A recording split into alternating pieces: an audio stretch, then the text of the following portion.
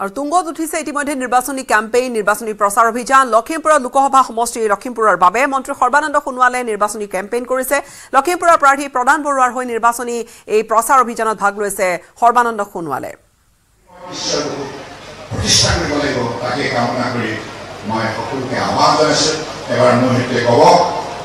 জয় অসম!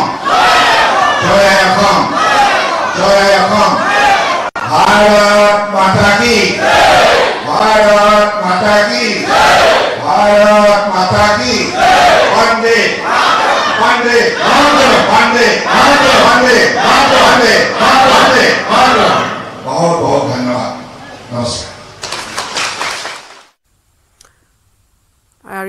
আমি লখিমপুৰৰ পৰা পোনপটীয়া সম্প্ৰচাৰ দেখুৱালো আন কিছু খবৰলৈ আগবাঢ়িম। কাজিৰঙা ৰাষ্ট্ৰীয় উদ্যানত পৰ্যটকৰ কেমেৰাত বন্দী হৈছে প্ৰকাণ্ড ঢেকীয়াপতীয়া বাঘৰ এটা দৃশ্য। বুঢ়া পাহাৰ বনাঞ্চলত বাঘৰ ধেমালিৰ দৃশ্য এটা বন্দী হৈছে। এই মুহূৰ্তত আমি দেখুৱাইছোঁ সেই দৃশ্যটো। তাৰ বিপৰীতে বাগৰি বনাঞ্চলত কিন্তু এটা প্ৰকাণ্ড ঢেকীয়াপতীয়া বাঘে জিপচিৰ সন্মুখেদি পৰ্যটন পথ পাৰ হোৱাৰ এটা শিহৰণকাৰী দৃশ্যও কেমেৰাত আবদ্ধ কৰিবলৈ সক্ষম হ'ল টুৰিষ্ট গাইড আনাৰ হুছেইনে। এই দুয়োটা দৃশ্য আপোনালোকক দেখুৱাম। বুঢ়া পাহাৰত প্ৰথমটো দৃশ্য আৰু ৰ'দত এইধৰণে বাঘটো শুই থকা দেখা গৈছে। কাজিৰঙা ৰাষ্ট্ৰীয় উদ্যানত পৰ্যটকৰ কেমেৰাত বন্দী হৈছে প্ৰকাণ্ড ঢেকীয়াপতীয়া বাঘ এটা আৰু সন্মুখেৰে জিপচিখনৰ একেবাৰে সন্মুখেদিয়ে পাৰ হৈ গৈছে এই প্ৰকাণ্ড ঢেকীয়াপতীয়া বাঘটো। এই এটা আন দৃশ্য টুৰিষ্ট গাইড আনাৰ হুছেইনে কেমেৰাত আবদ্ধ কৰিবলৈ সক্ষম হৈছে। বুঢ়া পাহাৰ বনাঞ্চলত বাঘৰ ধেমালিৰ দৃশ্য বন্দী হোৱাৰ বিপৰীতে এয়া যিটো দৃশ্য বুঢ়া পাহাৰৰ দৃশ্য আৰু তাৰ বিপৰীতে আন এটা দৃশ্য দেখুৱাম।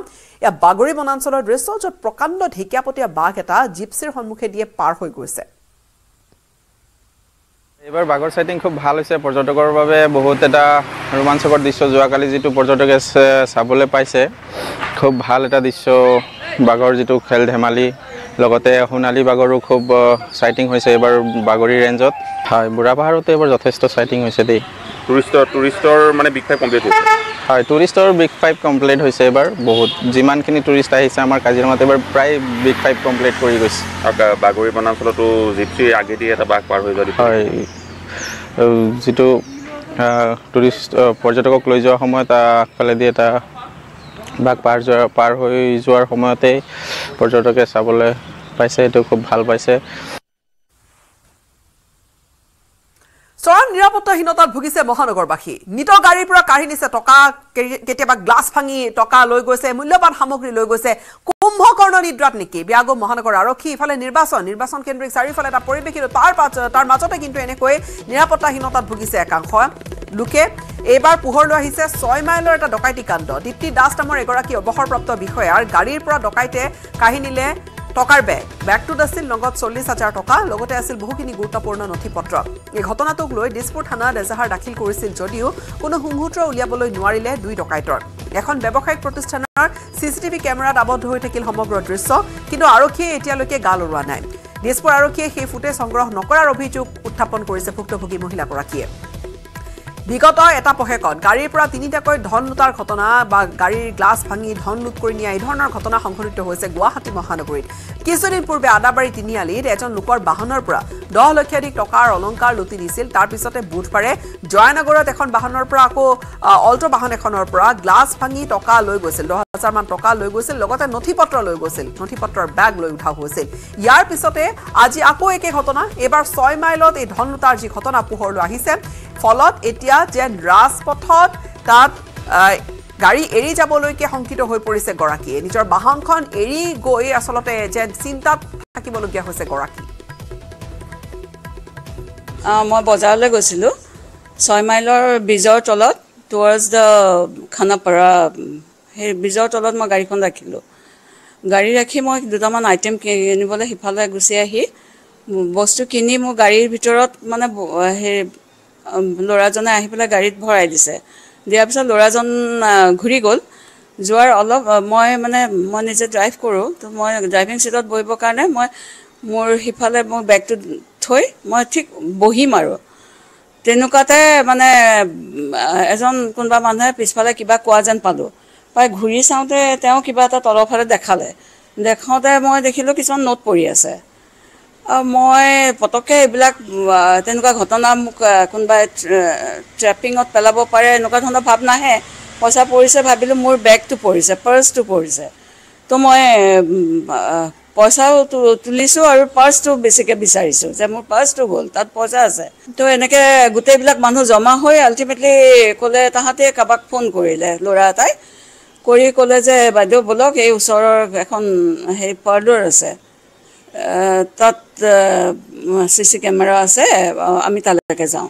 গ'লোঁ আমি সেই দেখি চালোঁ হয় তাতে ল'ৰা এজন মানুহ এজন মানুহ অকণমান শকত চকত অকণমান ঠিক ল'ৰা টাইপৰ ক্ষীণ অকণমান শকত আৰু। গাড়ীখনৰ দৰ্জাখন খুলি বেগটো লৈ এনেকৈ গাত সাৱটি এনেকৈ জোৰকৈ সাৱটি যাতে কোনেও ধৰিব নোৱাৰে এনেকৈ লৈ পেলাই গৈ আছে। আমি সেইটো দেখিছোঁ। গতিকে আমি সেইবিলাক গৈ পেলাই থানাৰ অচিক লাকিলি পালোঁ। সেই ৰাতি চাৰে নটা দহটামান বাজিছে যেতিয়া।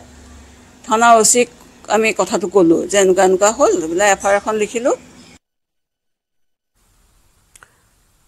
মুঠৰ ওপৰত যেন চৰম নিৰাপত্তাহীনতা। আন কিছু খবৰ। বৰ্তমান বিশ্বৰ অন্যতম শক্তিশালী দেশ ভাৰত। ভাৰতে সহ্য নকৰে শত্ৰুৰ ৰাষ্ট্ৰৰ কাৰচাজি। ভাৰতৰে শত্ৰুতা কৰা লোকে এতিয়া বিদেশৰ ভূমিটো নিষ্ঠাৰ নাপায়। ভাৰতে এতিয়া শত্ৰুৰ ঘৰত সোমাই মাৰে। কোচবিহাৰৰ নিৰ্বাচনী এক জনসভাত প্ৰধানমন্ত্ৰী নৰেন্দ্ৰ মোদীৰ এই হুংকাৰ। প্ৰধানমন্ত্ৰী মোদীৰ এনে হুংকাৰৰ সময়তে ব্ৰিটিছ সংবাদপত্ৰ গাৰ্ডিয়ানৰ এখন প্ৰতিবেদনত তোলপাৰ লগাইছে। গাৰ্ডিয়ানৰ প্ৰতিবেদনে তাত কোৱা হৈছে যে পুলৱামাৰ আক্ৰমণৰ পিছৰে পৰা বিদেশৰ ভূমিটো সক্ৰিয় ভাৰত ইউ এ ইটো সক্ৰিয় ভাৰতৰ শ্লিপাৰ চেল। গাৰ্ডিয়ানৰ দাবী যে পাকিস্তানৰ ভূমিত ভাৰতীয় চোৰাংচোৱাই নিধন কৰিছে বিছটাকৈ ভাৰতীয় শত্ৰুক দুহেজাৰ বাইছৰ কৰাচীৰ আহ, গুলীচালনাতো ভাৰতৰ হাত আছিল বুলি অভিযোগ উত্থাপন কৰিছে। লগতে কাকতখনে দাবী কৰিছে আফগানী লোকক ব্যৱহাৰ কৰিছিল ভাৰতৰ চোৰাংচোৱা সংস্থাই। কান্দাহাৰ বিমান অপহৰণৰ অভিযুক্তকো পাকিস্তানৰ ভূমিত হত্যাৰ অভিযোগ উঠিছে। শত্ৰু নিধনত পাকিস্তানী নাগৰিকক ব্যৱহাৰ কৰাৰ অভিযোগ বা ব্যৱহাৰ ভাৰতে কৰিছে বুলি কোৱা হৈছে। আমেৰিকা আৰু কানাডাতো ভাৰতীয় চোৰাংচোৱা সক্ৰিয় বুলি দাবী কৰি অভিযোগ আনিছে খালিস্তানী উগ্ৰপন্থীক আমেৰিকা কানাডাত নিধন কৰিছে ভাৰতীয় চোৰাংচোৱা সংস্থাই। গাৰ্ডিয়ানৰ প্ৰতিবেদনক বিদেশ মন্ত্ৰী এছ জয়শংকৰে একেমুখে নৎসাত কৰিছে।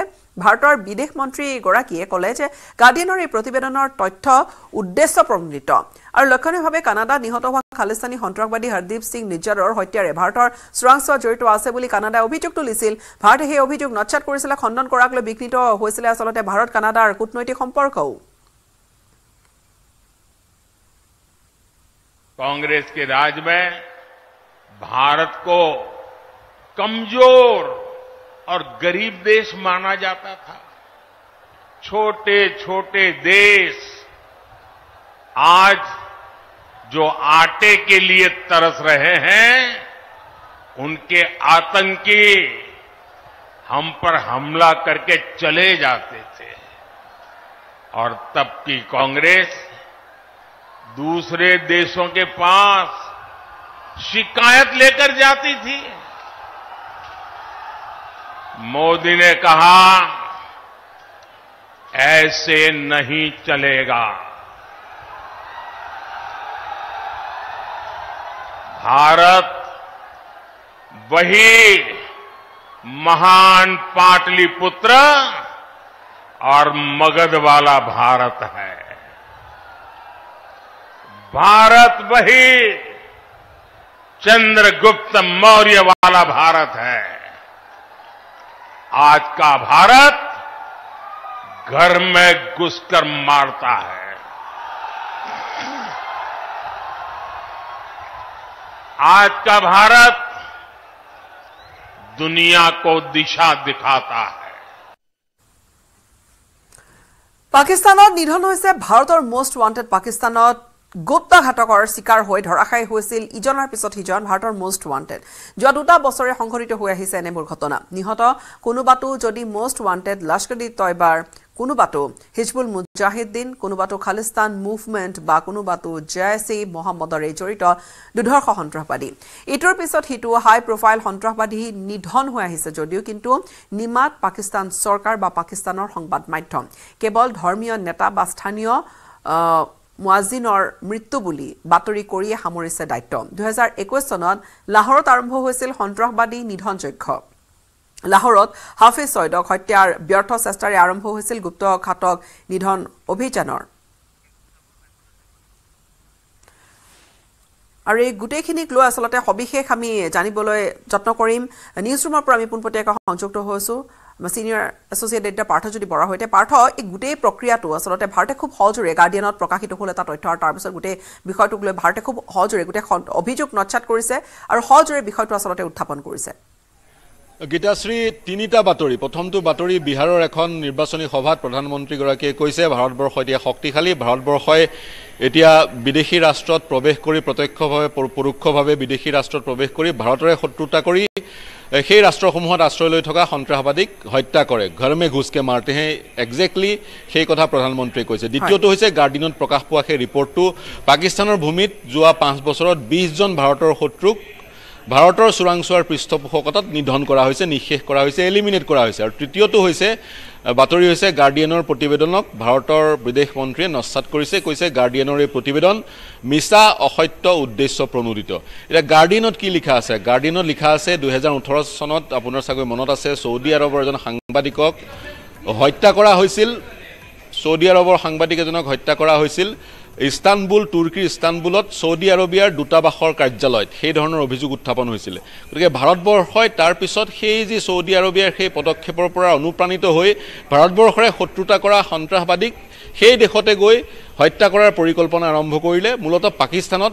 আৰু মন কৰিব দুহেজাৰ ক্ষমা কৰিব ঊনৈছশ নিৰান্নব্বৈ চনত ভাৰতবৰ্ষৰ যিখন এয়াৰ ইণ্ডিয়াৰ বিমান হাইজেক কৰা হৈছিল হাইজেক কৰাৰ কৰি কান্দাহাৰলৈ লৈ যোৱা হৈছিল। সেই বিমান হাইজেকৰ ঘটনাত এজন জড়িত লোক তেওঁ তেওঁৰ নাম জাহুৰ মিস্ত্ৰী তেওঁ পাকিস্তানত আশ্ৰয় লৈ আহিছিল। সেই ব্যক্তিজনকো এগৰাকী মহিলা চোৰাংচোৱাই পাকিস্তানত প্ৰৱেশ কৰি হত্যা কৰিছিল গাৰ্ডিয়ানৰ ৰিপৰ্টৰ মতে। আৰু গাৰ্ডিয়ানৰ ৰিপৰ্টত কোৱা হৈছে ভাৰতবৰ্ষই ভাৰতবৰ্ষই শ্লিপাৰ চেল সৃষ্টি কৰিলে ইউ এইট। আৰু সেই ইউ এইৰ শ্লিপাৰ চেলৰ সদস্যই পাকিস্তানত প্ৰৱেশ কৰি ক্ষমা কৰিব প্ৰৱেশ কৰি সেই যি পৰিকল্পনা পৰিকল্পনা বা সেই যি হত্যা হত্যাৰ যি বা নিঃশেষ কৰা যি কাৰ্য সেই কাৰ্য আৰম্ভ কৰিলে গীতাশ্ৰী।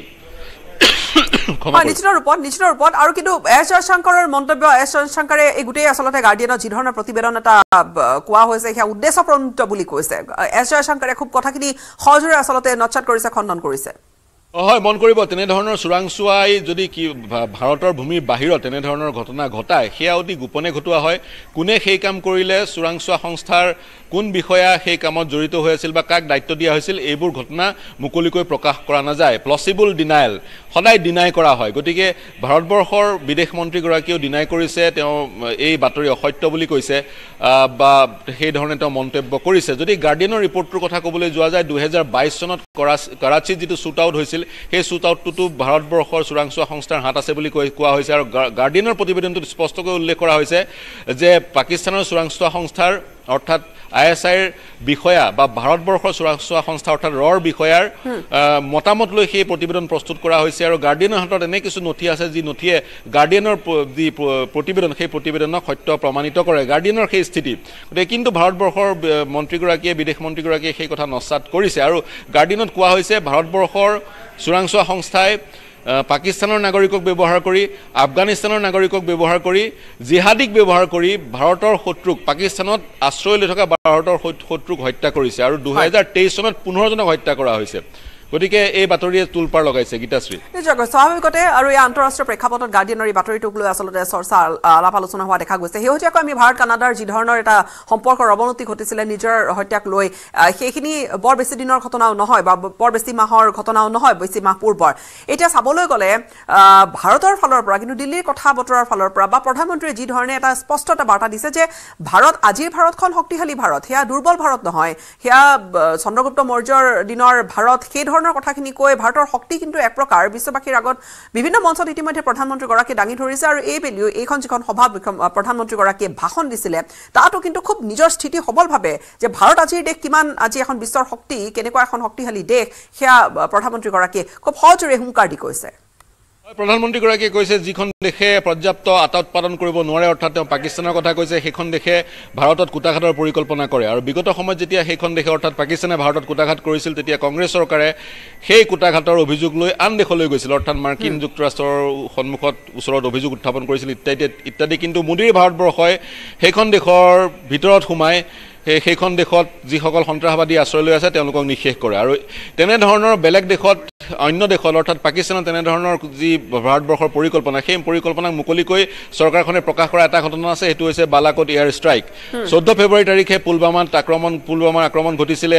আদিল আহমদ দৰ নামৰ এটা সন্ত্ৰাসবাদীয়ে আত্মঘাতী বোমা বিস্ফোৰণ কৰি চল্লিছজন ভাৰতৰ পেৰামিলিটাৰী অৰ্ধসামৰিক বাহিনীৰ জোৱানক হত্যা কৰিছিল। আৰু তাৰ পিছত ছাব্বিছ ফেব্ৰুৱাৰী তাৰিখে বিদায় ল'ব লাগিব আপোনাৰ পৰা। এই মুহূৰ্তত ধন্যবাদ। আমি পাৰ্থ বিদায় লৈছোঁ আপোনাৰ পৰা। যিহেতু আমি পৰৱৰ্তী কিছু আমি পোনপটীয়া সম্প্ৰচাৰলৈ যাম আৰু আহ, যিহেতু এই বিষয়টোক লৈ আচলতে খুব প্ৰতিক্ৰিয়া আৰু ৰাজস্থানৰ প্ৰধানমন্ত্ৰী ন- নৰেন্দ্ৰ মোদীৰ নিৰ্বাচনী প্ৰচাৰ পোনপটীয়াকৈ আমি দেখুৱাইছোঁ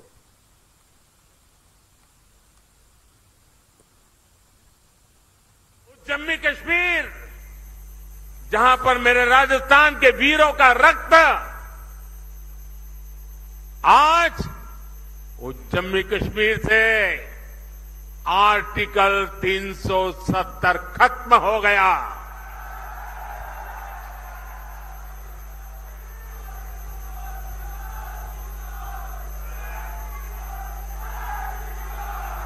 तीन तलाक पर कानून हमारी मुस्लिम बहनों की मदद कर रहा है। और मेरी मुसलमान माताएँ, बहनें, समझे, ये तीन तलाक आपके जीवन पर तो खतरा था ही था। मेरी मुस्लिम बेटियों के सर पर तलवार लटकती रहती थी। मोदी ने आपकी रक्षा तो की है, लेकिन मोदी ने हर मुस्लिम परिवार की भी रक्षा की है, क्योंकि मुस्लिम परिवार का वो पिता, वो कभी सोचता था कि बेटी की शादी करके भेजा तो है दो तीन बच्चे हो जाएँगे, उसके बाद अगर वो तीन तलाक करके वापस भेज देगा तो मैं बेटू को, बेटी को कैसे संभालूं? भाई को लगता था, अगर तीन तलाक के कारण मेरी बहन घर वापिस आ गई तो मेरा परिवार कैसे चलेगा? हर माँ को लगता था कि इतने उत्साह और उमंग के साथ बेटी को शादी करके भेजा है। लेकिन तीन तलाक कह करके अगर बेटी को लौटा दिया तो मेरी बेटी की ज़िंदगी का क्या होगा? यानी पूरा परिवार तीन तलाक के नाम पर लटकती तलवार के नीचे मुसीबत में ज़िंदगी गुजारता था। मोदी ने सिर्फ़ मुस्लिम बहनों को नहीं, सभी मुस्लिम परिवारों की ज़िंदगी को बचाया है। लोकसभाओं में महिलाओं के लिए आरक्षण का कानून भी संसद ने पारित कर दिया है ये भाजपा ही है जिसका संकल्प पत्र भी अपने आप में एक गारंटी माने जाना लगा है আৰু এতিয়া ৰঙালীক আদৰাৰ ব্যাপক প্ৰস্তুতি চাৰিওফালে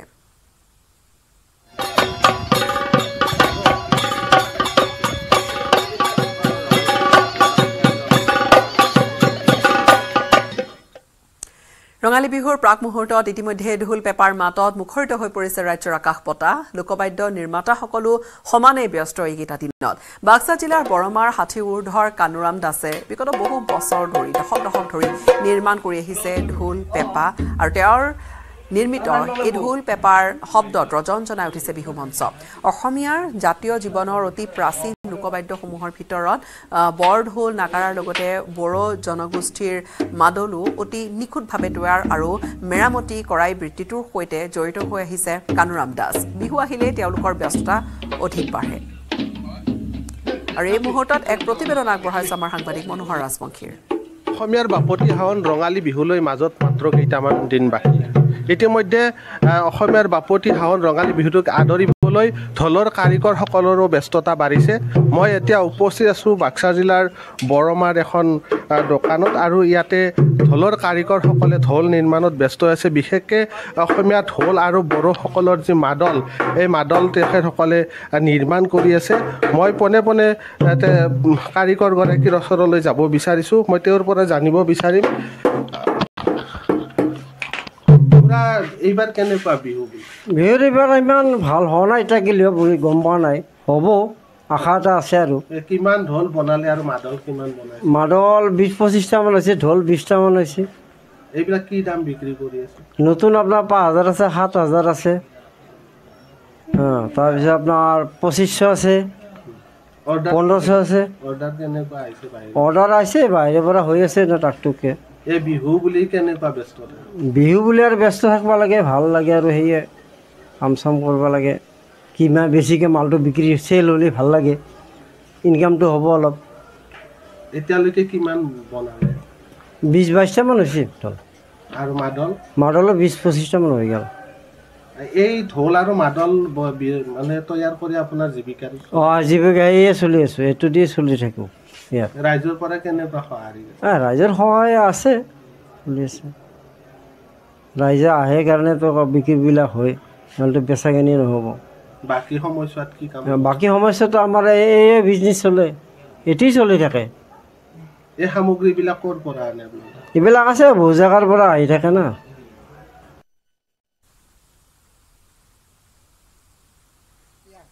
আৰু নিৰ্বাচনৰ ধামখুমীয়াৰ মাজতে ৰাজ্যজুৰি এতিয়া ৰঙালী বিহুটিক আদৰাৰ এই ধৰণেই চলিছে প্ৰস্তুতি। এটা বিশেষ দৃশ্য এটা বিশেষ পদক্ষেপৰ কথা আপোনালোকক জনাবলৈ বিচাৰিম। ৰঙালী বিহু বুলিলে সকলোৰে মনলৈ আহে তাহানিৰ তাঁতশালৰ গুটি ফুলৰ গামোচাখনলৈ বা চেনাইলৈ বুলি বৰপেৰাত সাঁচি থোৱা বৰফুলৰ গামোচাখনলৈ আধুনিকতাৰ ধামখুমীয়াত অসমীয়া সমাজৰ পৰা হেৰাই যোৱাৰ উপক্ৰম ঘটা ফুলৰ সেই চানেকিবোৰ। খুব সুন্দৰভাৱে সংৰক্ষণৰ এটা ব্যৱস্থা কৰিছে। চৰ্চালৈ আহিছে তিয়কৰ বনাই ৰবিগাৰ দিগন্ত শইকীয়া নামৰ এইগৰাকী যুৱক আৰু এই সন্দৰ্ভত তিয়কৰ আমাৰ সাংবাদিক দিগন্ত হাজৰিকাৰ এক বিশেষ ৰিপৰ্ট। দেৱনদা মই প্ৰথমতে স্বাগতম জনাইছোঁ। খুব ধুনীয়াকৈ আপুনি এটা কাম কৰি আছে যিটো আচলতে নিজাববীয়াকৈ একক প্ৰচেষ্টাত কাম কৰি আছে গোটেই কথাখিনি। কেনেকুৱা ধৰণে আপুনি এইসমূহ সংৰক্ষণ কৰিছে বা আপুনি ইয়াৰ লগত একেবাৰে সৰু শিশু অৱস্থাৰ পৰাই যিহেতু জড়িত গোটেই কথাখিনি অকণমান অৱগত কৰিব লাগে। আগলৈ আহিলে সুবিধা হ'ব। আমাৰ যি- মই এতিয়া এতিয়ালৈকে আচলতে চানেকি মই আগতে ক'লোৱেই যে আমাৰ যিবিলাক বাঁহৰ কাঠি চানেকি আছিলে মোৰ পাঁচখন। বাঁহৰ চানেকিখনৰ তাৰপিছত মই দেখিলোঁ যে বাঁহৰ কাঠিবোৰো কেতিয়াবা সূতাবোৰ এৰাই এৰাই যায়। তাৰপিছত ভাবিলোঁ এইখন সূতাৰ কিতাপ শিকাই উলিয়াই দিলে মানুহে ভাল পাব। তাৰপিছত মই প্ৰথমতে কৃষ্ণ আপছেট বুলি যোৰহাটলৈ গ'লোঁ। যাওঁতে প্ৰথমতে কিতাপখন উলিয়াবলৈ যাওঁতে তেতিয়া প্ৰথম বছৰ বৰ ভাল নহ'ল কিতাপখন ধুনীয়া নহ'ল। তাৰপাছতে দুবছৰ মই তথাপিতো তেনেকৈ চলালোঁ মানুহে তথাপিতো তেনেকেই কিনিলে। তাৰপিছত মই বিনায়ক আপছেটলৈ লৈ গ'লোঁ। ষোল্লখন চানেকি এতিয়ালৈকে মোৰ লগত সংৰক্ষণ হৈ আছে। ফুলখন গ্ৰন্থ ইতিমধ্যে এতিয়া চানেকি আছে। ফুলৰ চানেকি। ফুলৰ চানেকি ষোল্লখন আছে। এতিয়া দুই চাৰিখন কিন্তু কোনোবাই কোনোবাই নকল কৰি মোৰ কিতাপবোৰকে নকল কৰি কৰি কোনোবাই বজাৰত বিকিছে দুই এখন মই এইবিলাক কোনো কিবা এটা কৰি খাই আছে বুলি মই বিকা নাই। এতিয়া আপুনি শিৱৰাত্ৰিত যদি শিৱদৌললৈ যায় মই এটা খুব ভাল লাগে মোক খুব হাঁহি উঠে এটা কথা। আপুনি শিৱৰাত্ৰিলৈ গ'লে মই এতিয়া যোৰহাটলৈ গুৱাহাটীলৈ যাওঁতে কামাখ্যা মন্দিৰৰ ওচৰত যায় মানুহবোৰ বহি থাকে। মোৰ চানেকিবোৰকে জেৰক্স কৰি কৰি দহ টকা বিছ টকা লৈ লৈ বহুত মানে বিকে।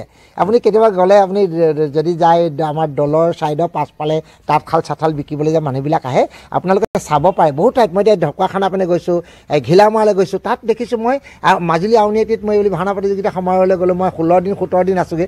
মোক খুব এটা কথা ভালো লাগে দুখো লাগে যে চানেকিখন জেৰক্স কৰি তেওঁলোকে তাৰ পৰা দহ টকা বিছ টকা কৰি তেওঁলোকে বিকি আছে মই একো এইসমূহ এইসমূহ হেৰাই গৈছে একদম ফুলবিলাক হেৰাই গৈছে একেবাৰে হেৰাই গৈছে একদম হেৰাই গৈছে। এতিয়া মানুহে ক'লে বেয়া পায় কথা। এতিয়া আমাৰ এখনত কোনপাহ ফুল দিব লাগে মেখেলাত কোনপাহ ফুল ৰাখিব লাগে গামোচাত আমাৰ হিয়াত লোৱা গামোচা ফুলপাহ কোনপাহ কোনপাহ লতা ফুল আছিলে কোনপাহ টেঙেচি পুহিয়া ফুল এনেকৈ ক'লে এতিয়া মানুহে বুজি নোপোৱা মানুহ বহুত আছে এতিয়া এতিয়া ফুলৰ যিহেতু গামোচাৰ পৰা আৰম্ভ কৰি আমাৰ মিচিং জনগোষ্ঠীয় গামোচাৰ কাৰ্বি জনগোষ্ঠীয় গামোচা যিমান ফুলৰ নাম আছে ধৰক আপুনি ইতিমধ্যে কৈছে বৰ ফুল গুটি ফুল তেনেকৈ কিছু নাম আছে সেই নামখিনি অকণমান অৱগত। তেওঁলোকে আচলতে কি হ'ল মই কাৰ্বি ফুলবিলাক নাজানো কিন্তু মিচিঙৰ যিটো ধাৰটো মিচিঙৰ ধাৰটো দেখি তেওঁলোকে যেতিয়া বন কৰে সৰু সৰু টেঙেচি ফুল দি তেওঁলোকে বন কৰে আৰু যেতিয়া মানে বগলী খুটিওৱা এটা বগলী খুটিওৱা এনেকুৱা নিচিনা বস্তু বগলী খুটিওৱা বগলী ঠেংটো নিচিনা বগলী খুটিওৱা বুলি কয় সেইটো সেই বগলী খুটিওৱা দি দিলে আমি গম পাওঁ যে এইখন মিচিঙৰ মেখেলা।